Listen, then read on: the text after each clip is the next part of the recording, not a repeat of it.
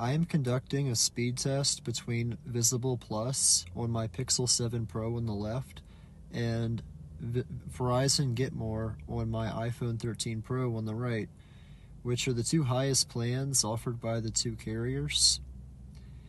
Generally, I am receiving about 50% of the data speed I obtain with Verizon on Visible Plus.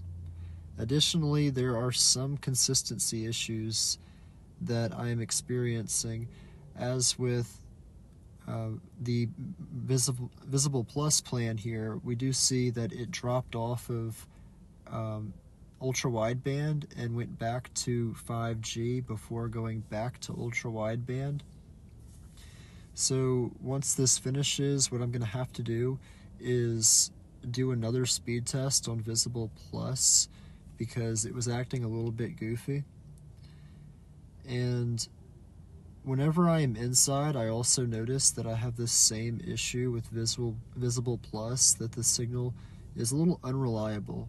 And when I go inside, I get maybe 0.5 megabytes per second on Visible whereas with Verizon, I get the full speeds, usually around 20 megabytes per second.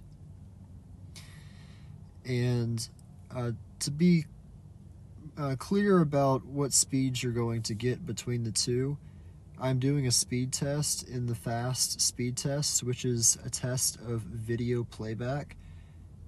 And I find that these speeds are quite consistent. I'm getting less than half with visible but I do hope that uh, this information does help someone in making a decision and selecting Visible Plus if this is good enough for you, or Verizon.